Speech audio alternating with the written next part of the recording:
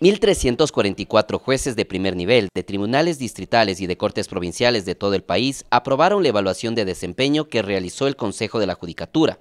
Tan solo 56 no alcanzaron el puntaje necesario.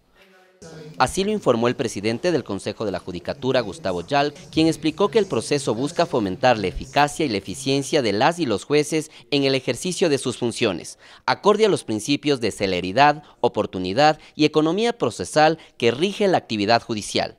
Según el titular de la Judicatura, quienes no pasaron la evaluación podrán superarla en una segunda oportunidad.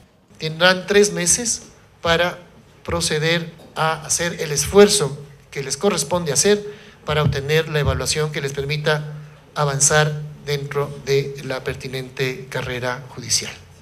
En esta ocasión fueron evaluados los jueces que entraron en funciones hasta el 31 de marzo del 2014.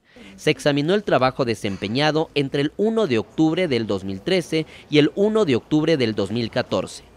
Según esta valoración, Morona Santiago es la provincia con mejor tasa de resolución, le siguen Bolívar, Sucumbíos y Pichincha. Es la primera vez que en el país se desarrolla un proceso de este tipo. En el 2015 se realizará una nueva evaluación a los administradores de justicia. Esta vez se tomarán en cuenta los parámetros cualitativos.